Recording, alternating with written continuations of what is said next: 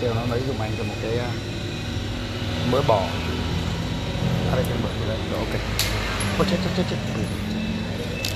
Rồi, ok.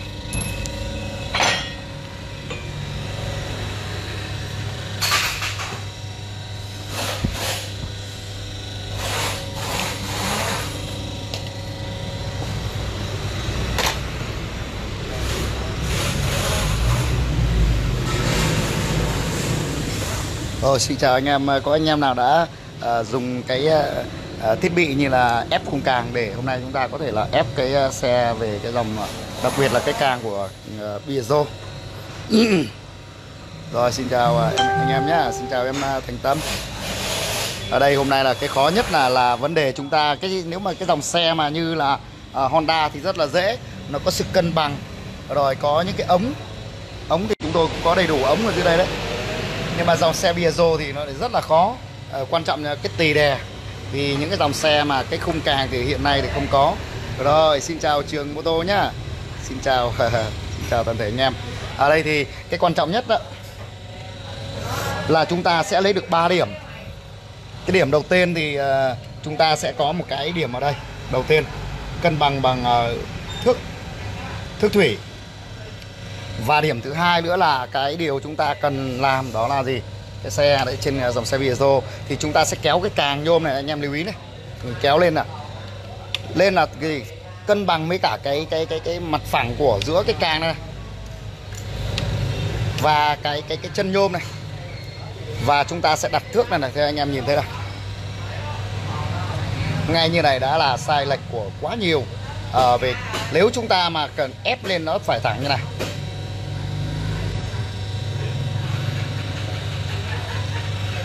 À, đây là những cái điểm để chúng ta có thể à, kiểm tra. Thì giống như anh em đừng nói. Thì ở trên đây trên đây giống như anh nói là anh em đừng nói đây là cái cái cái cái cái con ốc mà chọc qua vào trên cái cổ của dòng xe Bizo á. Thì anh em nhìn thấy nó nằm ngang à, cân bằng. Thì chúng ta đã có cái điểm đây nhất định rồi này. Để chúng ta có một cái điểm quan trọng nhất là mình cũng ép cái này rất là nhiều rồi. Hôm nay cũng chia sẻ cho anh em biết cách để ừ, tì quan trọng là chúng ta cần phải nghĩ cái cách ra để chúng ta đặt ờ, địa điểm ờ, đặt những cái ờ, đây để chúng tôi sẽ chia sẻ với anh em. Đây thì tôi sẽ có cho anh em nhìn thấy rõ hơn. Khi anh em là à, tất cả những anh em nào đương có những uh, sử dụng như là những cái máy lắn cung càng thì trên cái điểm này này điểm của cái chỗ mà cái cái, cái chốt để chúng ta chặn xoay cái cổ đó thì các bạn hãy đặt ở cái thức thủy lên trên. Đây này, nó có sự cân bằng này, các bạn nhìn thấy này. Thước thủy sẽ cân bằng, thì đồng thời thì để cho anh em thấy rõ hơn, thì trên cái cái cái cái cổ ở trên chỗ bắt khung càng thì nó làm theo đúng vị trí thẳng tắp tắp luôn này. Rồi, xin chào Nguyễn Điện nha. Và thứ ba thứ ba nữa là anh em sẽ có đặt theo một cái mặt phẳng thì trên đây nó sẽ có một cái tì đè của trên một cái cái cái đội ở trên thủy lực thì nó sẽ làm cho chúng ta làm một cái vị trí để chúng ta đặt ở trên chỗ ngay chỗ điểm cơ đốc để chúng ta bắt cái cái cái cái phuộc á gọi là cái nhún á. Đây và thứ tư nữa là khi anh em muốn để làm gì? Để đẩy cái thân này này qua để chúng ta có thể là xoay được cái cái cái thân càng này này. Xoay được cái thân này này là anh em sẽ phải cần có gì? Một cái đội để ngang bằng này. Đây anh em nhìn rõ này. Để khi nào anh em có được cái thiết bị chuẩn uh, thiết bị như là là là à, lắn khung càng thì anh em sẽ có những cái vị trí để chúng ta đặt nhé đây anh em sẽ đặt đây làm gì?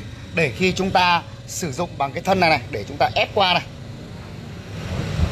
Chúng ta để để để để chúng ta à, vặn cái cái khúc này này. Cái khung này này.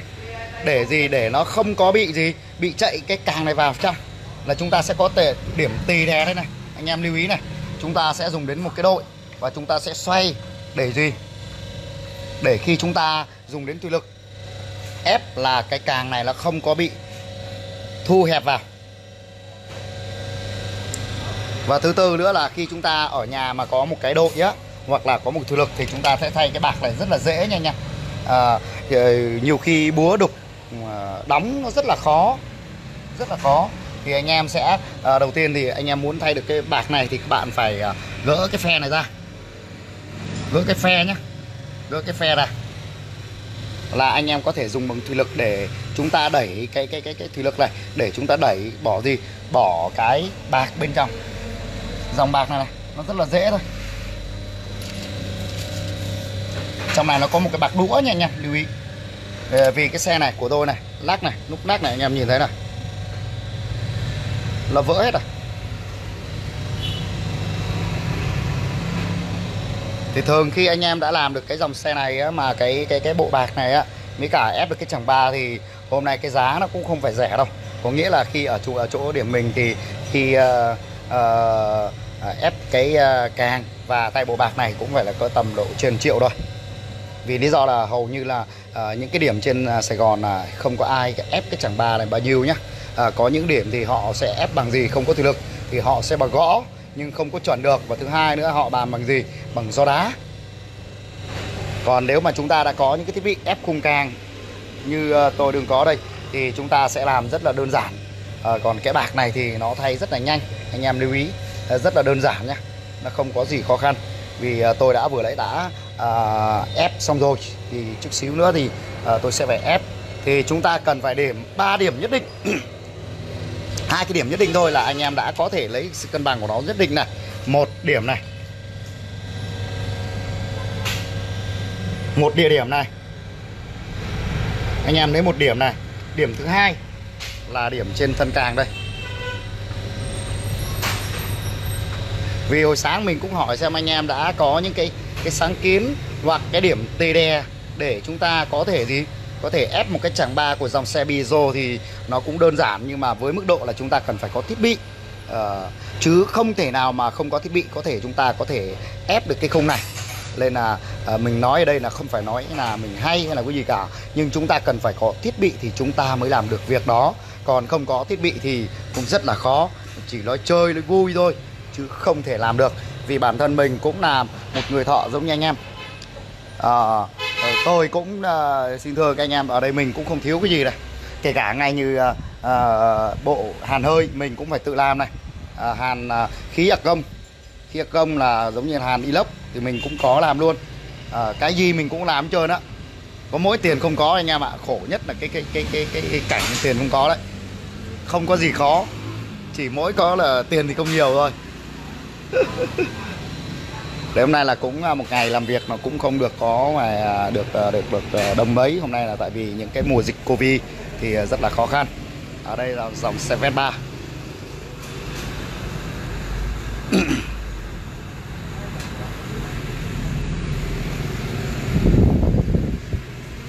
Rồi, xin chào Hoàng Phạm. Khổ nhất anh em ạ, Không có gì khổ bằng gì Bằng không có tiền. Đấy thì anh em lưu ý khi chúng ta muốn làm à, cái chàng ba của dòng xe Bizo thì các bạn cần phần phải có gì? Có thiết bị ép khung càng nhưng mà mình chỉ buồn mỗi là cái vấn đề là mua mỗi cái giá là cái máy ép khung càng cái thời điểm lúc mình mua là cơ tầm độ à, à 6 năm về trước 7 năm về trước. Cái giá nó lên đến gần 70 triệu nhưng mà à, họ lại không có cái ống để chúng ta à, gắn cái cái cái cái cái cái chẳng ba của dòng xe Bizo à, đó là một cái sự mà à, thiếu sót của những người nghiên cứu những người đã làm ra thiết bị này thì cũng là tuyệt vời. Nhưng có điều là họ lại ờ, không có chăm chút cho cái vấn đề những người thợ để đôi chút về uh, uh, thuận tiện. Và tôi phải tiện một cái ống này này. À, vừa với cái cái cái chẳng ba.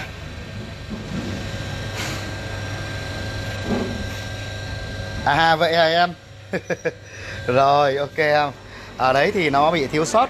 À, còn với mình thì tất cả cái uh, thiết bị này đầu tiên đó là phục vụ cho chính bản thân mình và cho cửa tiệm và uh, có những anh em đương học nghề ờ, uh, học là anh em đương làm tại cơ sở của chúng tôi thì cũng có thể được trải nghiệm trải nghiệm được thực tế bằng những gì? Những thiết bị công nghệ để hỗ trợ trong quá trình chúng ta à, làm việc. À, vì sao? Vì chúng ta cũng hiểu được cái nguyên lý hoạt động đó về sau chúng ta có thể ép cái chẳng ba hoặc ép cái khung càng à, chính ở những cái cửa tiệm của mình cũng không cần đến cái thiết bị. Quan trọng là chúng ta cần có những cái gì? Những cái địa điểm cái điểm để tê đe cái à, à, càng đó thì chúng ta sẽ làm một cái cách đơn giản hơn. Còn với mình thì à, à, phải sắm những cái thiết bị công nghệ để về gì để phù hợp với các công việc của chúng ta nhiều hơn à, cho công việc nhẹ nhàng hơn. Thì cũng nói sơ về cái thiết bị chuẩn cái thiết bị của cái ép khung càng này.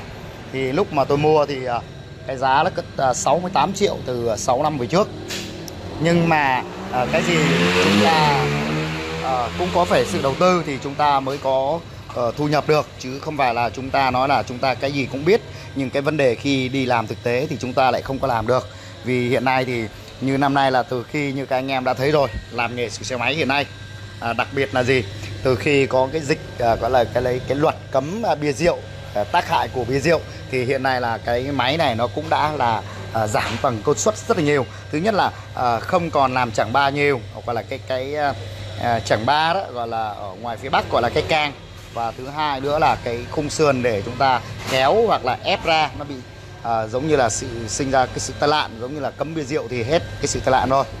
Thì hiện nay chỉ có là vấn đề là cái thiết bị của mình hiện nay là hoạt động rất là ít. Có nghĩa à, à, cái luật cấm bia rượu thì à, sẽ phải giảm giảm cái tần suất là tai nạn thì uh, giảm tần suất tai nạn thì cũng không còn ờ, cái uh, cái, cái cái cái xe nó bị tai nạn như là uh, khung càng rồi là thân sườn thì đó là một cái điều là uh, thiết bị hiện nay là uh, không có hiệu quả được bao nhiêu.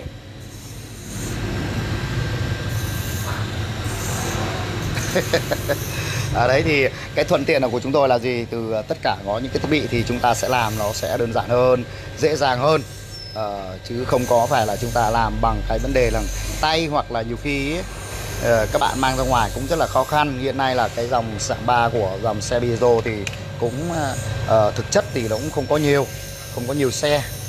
Nên là chúng ta cũng không cần quan trọng phải có những cái thiết bị. Những anh em nào đã có thiết bị thì nếu chúng ta muốn để biết được cái điều để chúng ta lấy ba cái mặt phẳng thì chúng ta cần phải lấy từ cái điểm đầu tiên cho đến điểm cuối cùng thì chúng ta chỉ cần kéo cái càng này lên thôi. Cái càng nhôm này anh em hiểu cái chân chỗ mà chúng ta là là, là tại vì cái này bạc này cũng hư nhá. Mình đã đừng chuẩn bị bộ bạc đây. Đây là bộ bạc càng. Thì chút xíu nữa mình sẽ phải uh, gỡ cái phe này ra. Thì vừa rồi thì cũng thấy mấy anh em hỏi là uh, uh, thay cái bạc này. Thì thực chất là là nói với anh em cũng đóng cũng rất là khó đó chứ không phải là là dễ dàng đâu.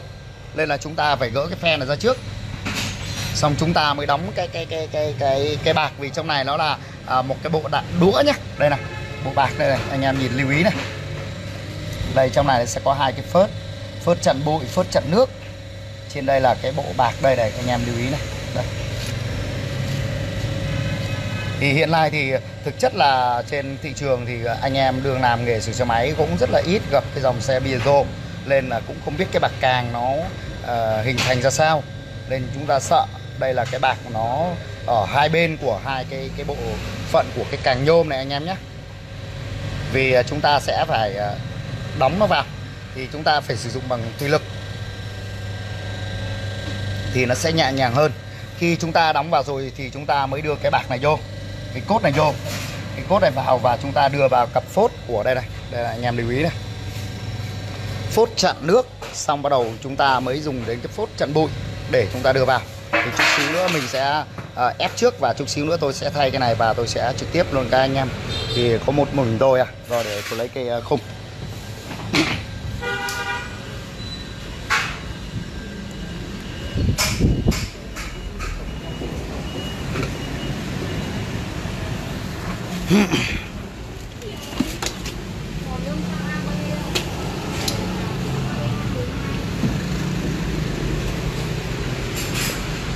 Rồi xin chào à, tất cả anh em. À, Và đây thôi tôi cũng phải lấy cái khung này ra để tôi à, sẽ cùng với các anh em để nhìn rõ hơn.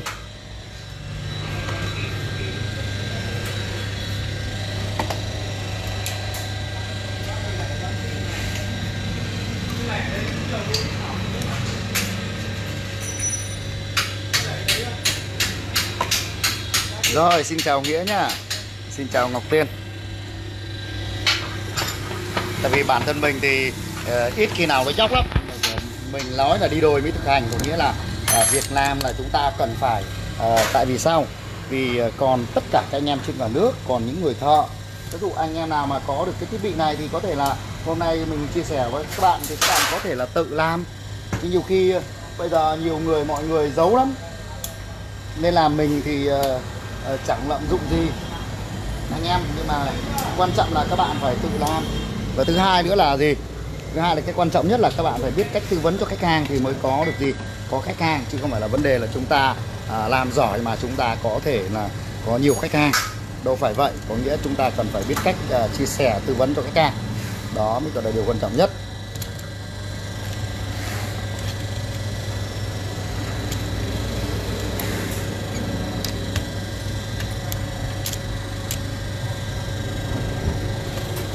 Vào đây anh em này.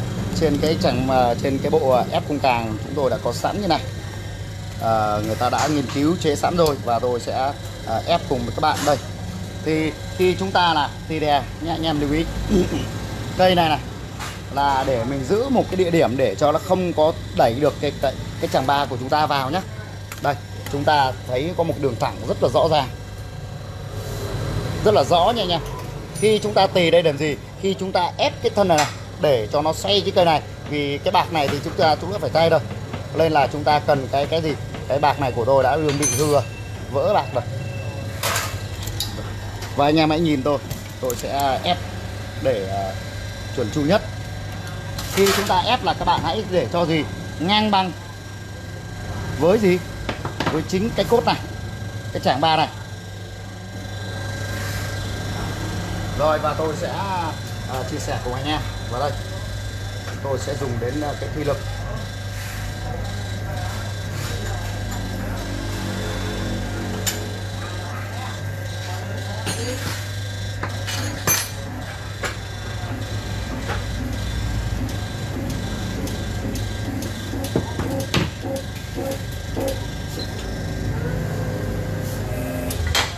Khi chúng ta đã ép được như vậy đây anh em quý và chúng ta sẽ phải xả cây này ra. Đây nhá, cái cây này là cây độ nha anh em, lưu ý. Để nó giữ cố định cái cây này này, để nó không có cụp thì cụp cái cái càng này vào trong. Và chúng ta sẽ kiểm tra lại giữa hai cái mặt phẳng cố định.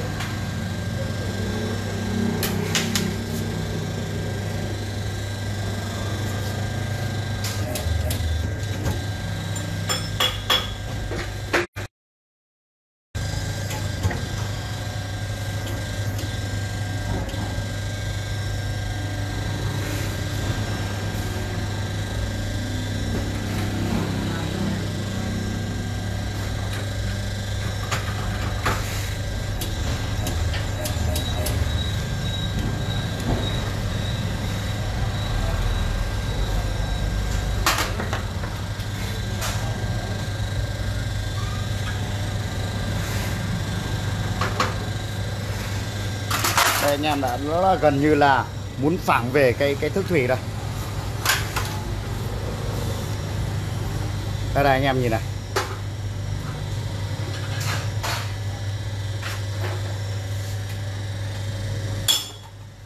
Đấy là chúng ta cần cái xoáy và bước tiếp theo là chúng ta có thể là thay cái bạc con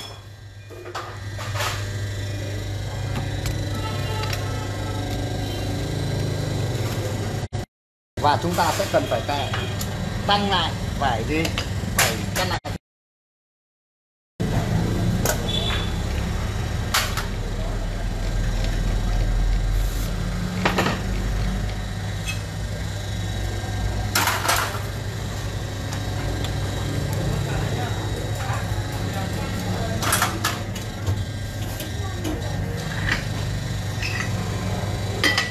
Đây, anh em lưu ý này thì à, chúng ta muốn thay cái đó thì các bạn hãy phải gỡ cái phe này ra.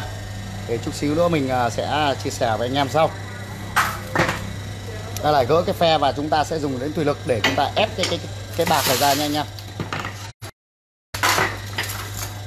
Rồi xin chào anh em nha. Tại vì nhiều khi mình ép ra nhiều khi để cái điện thoại vào nó sẽ dễ bị vỡ thì có thể là mình video sau mình sẽ hướng dẫn với anh em.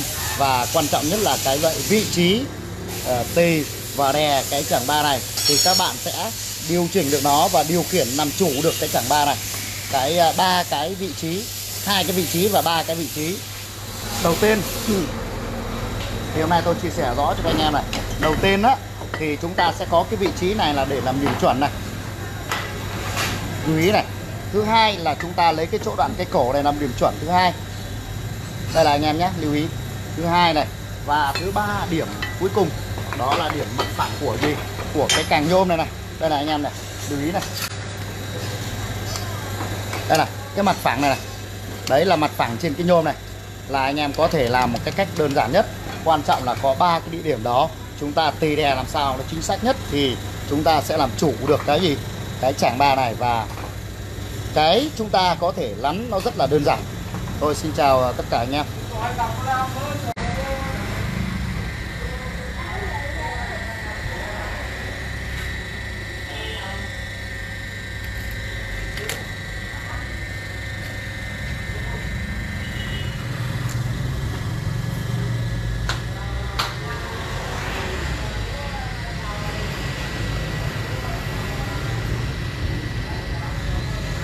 Cái ổ cắm nào không? Đức ơi. Đức ơi. Lấy giúp anh có một cái ổ cắm coi ờ, cái điện thoại hết pin rồi. Có cái ổ cắm nào không em? À, xin chào anh em.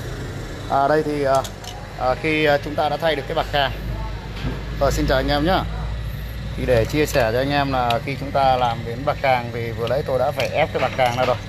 Thay bạc càng với mức độ thời gian cũng chỉ 5 đến 7 phút thôi. Rồi em cắm vào đây giúp của anh hết pin này Ừ. Ừ.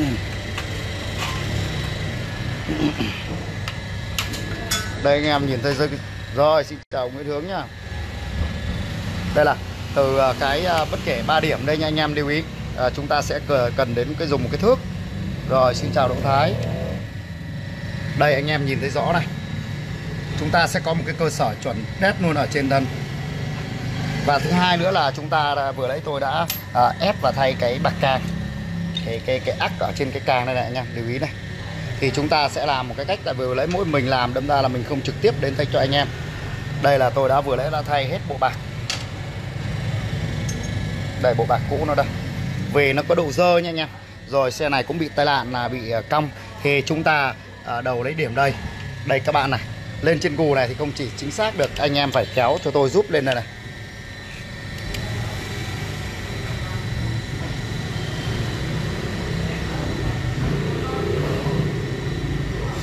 Chỉ cần mà cơ sở thứ nhất thằng này bằng này thứ hai thằng này chuẩn này anh em đi lưu ý này. Thứ ba là trên cái khâu bên trên kia chuẩn là chúng ta có thể ép một cái chẳng ba của cái dòng xe như là trong Sài Gòn thì chúng ta gọi là cái chẳng ba. Còn ở phía Bắc á, thì anh em gọi là cái càng. À, nên là cái gì cũng phải à, có cái thiết bị và chúng ta có thiết bị nhưng mà cái vấn đề cái máy ép khung càng này thì cái người mà người ta nghĩ sáng kiến ra rất là siêu. Nhưng có điều á là họ chưa có cái cơ sở để đặt cái vị trí cái vị trí để chúng ta ép càng nên là anh em là có một cái thiết bị như là ép càng à, AT09 hoặc là AT10 này thì chúng ta sẽ có tất cả những cái địa điểm. Cái quan trọng là anh em phải có cái địa điểm để chúng ta tì đè cách chuẩn xác nhất để chúng ta ép một cái càng à, uh, bìa rồ rất là nhanh. Anh em lưu ý thì tôi vừa nãy tôi đã hướng dẫn với anh em này. Khi anh em có chẳng có một cái máy ép khung càng thì cái bìa gồ này thì các bạn chỉ với mới mức độ thì anh em ép cũng cỡ tầm độ 20 phút thôi. Cũng không nhiều hoặc là hơn nữa là 25 phút. À, vì ép cái càng này rất rất là nhiều tiền cái thời gian như anh đi anh em mà có cái máy ép khung càng á, thì rất là đơn giản. Đầu tiên thì chúng ta có một cái đội để chúng ta phải giữ từ cái điểm này đến điểm này. Để cho chúng ta giữ một cái khoảng cách là khi chúng ta ép là cái càng này nó không có ép vào bên trong. Anh em lưu ý nhá thì vừa lấy tôi cái càng này thì lúc đầu tiên thì lệch rất là nhiều anh em đã thấy rõ. À, vì sao? Vì giữa cái rè và cái cái cái cái cái cái cái cái, cái rè đằng trước đấy cái chắn sinh á thì nó mới cả cái bánh xe nó đã lệch nhau với mức độ là à, khá lớn. Nhưng mà cái quan trọng để vừa đấy mình hỏi về cái câu chuyện là anh em đừng có cái máy này thì anh em sẽ dùng đến tỷ đè ra sao để có thể ép một cái chẳng ba của dòng xe Bizo một cách đơn giản. Thì hôm nay tôi cũng chia sẻ với anh em bằng cái cách như vừa lấy. Thì trên đây thì chúng ta sẽ dùng đến cái máy ép khung càng để chúng ta ép cái này xong. Ép qua một bên. Để gì? Để xoay được cái thân này này. Tại vì trong một thời gian nhất định á, khách hàng đi là uh, xe tai nạn thường hay nó đâm trực diện hoặc là đâm xéo ngang qua. Thì trên cái cái bánh xe và cái cái cái cái cái rè đấy là liên tục bị nghiêng qua một bên. Là anh em cần lấy cho tôi ba địa điểm hai địa điểm thôi một địa điểm ở đây. À, hai nữa địa điểm ở trên mặt phẳng này. Chúng ta sẽ kéo ngang lên. Ngang lên. Và chúng ta đặt một cái thức bắn mè tân thủy đây này. Là chúng ta sẽ có được cái, cái uh, mặt phẳng nhất định của nó. Uh, nhưng cái điều anh em phải lưu ý là chúng ta cần phải có vị trí tì đè giữa ở bên cái thân đây này nhờ của chính cái khung của trên máy ép khung ca về chúng ta sẽ đặt vào đây. Để làm gì? Khi chúng ta ép là để gì? Để xoay cái thân này nha anh em lưu ý. Hay cái bộ phận này xoay qua xoay qua một bên. Để gì? Để chúng ta có thể ép được cái khung càng này một cái cách nhanh nhất và chuẩn xác nhất.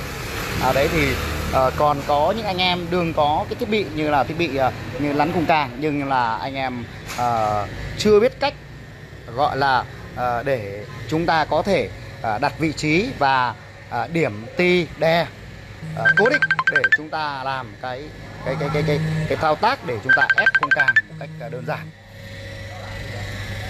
thì khi chúng ta mà có những cái thiết bị thì ở nhà thì anh em làm với mức độ những cái dòng xe Piaggio này thì mình ờ, hôm nay chẳng qua là hướng dẫn với anh em rồi thay cái bạc này thì cái thời gian nó mất cỡ tầm nửa tiếng thôi. Còn đối với mình mà uh, chỉ làm nếu mà không có vấn đề để uh, uh, quay video và giải thích cho anh em thì làm trong vòng nửa tiếng là tôi đã uh, cắt cái uh, uh, gọi là cái cang này của dòng Piaggio thì rất là đơn giản nha anh em. Và thứ hai nữa là tôi đã thay bộ cái bạc này rồi thì bây giờ cái bạc nó sẽ được tự do này anh em thấy không? Nó rất là nhẹ nhàng. Và thứ ba nữa là khi anh em thay thì tôi cũng à, chia sẻ luôn cho anh em. Khi các bạn muốn để có hai cái rong này vô thì đầu tiên thì các bạn hãy lấy cái rong này các bạn kéo qua đây này xỏ vào đây. Xỏ qua cái chân này anh em lưu ý nhá. Hai cái rong này, này cái phớt này chặn cái à, bụi này. Còn hai cái phớt bên trong nhỏ nhỏ này này. Hai cái phớt trong này là gọi là chắn nước. Chắn nước á, thì anh em sẽ khi chúng ta ép cái ác vào trước đầu tiên, cái ép cái ác này này, thì chúng ta sẽ ép vào cái thân này trước này. Xong, khi chúng ta ép cái chân cước này rồi, cái phớt này thì phải rô đầu tiên nhé, anh em lưu ý. Cái phớt này là anh em phải cho vào trước vào trong này này, lòng vào trong này chứ không được đưa vào trong cái thân này trước nha nó sẽ bị rách cái rong. Anh em lưu ý nhá đây là như tôi sẽ lấy cho các bạn coi này. Đây đây là anh em lưu ý này. Đây là khi các bạn muốn ép này các bạn cho ra đây dùng tôi này. Cái phớt này, này anh em lưu ý này. Đây thì cái độ hở này các anh em nhìn thấy này độ hở này. Đây để tôi sẽ mở cái đèn lên đèn led lên cho các anh em nhìn thấy. Đây cái độ hở này anh em lưu ý này. Các bạn hãy cho cái phớt vào đây này. Có thể ở nhà các anh em dùng đến đội cũng được. Nhưng các bạn hãy cho tôi vào hai cái phớt này. Đầu tiên thì chúng ta ép cái này vô. Và chúng ta cho cái phớt của hai cái phớt bên này này. Chúng ta vào cho vào đây để gì? Để tránh trường hợp khi anh em lúc mà à, đục hoặc là ép cái cái cái cái cái ác này vô nó sẽ cháy nó sẽ bị đứt cái ron này. Nha anh em lưu ý dùm tôi nhá. Khi anh em đã ép vào và cái cái cái cái bạc đạn đũa này các bạn dồ dồ đầy đủ rồi. Bắt đầu anh em mới kéo cái phớt này lên này. Tôi tại vì tôi làm có một mình à.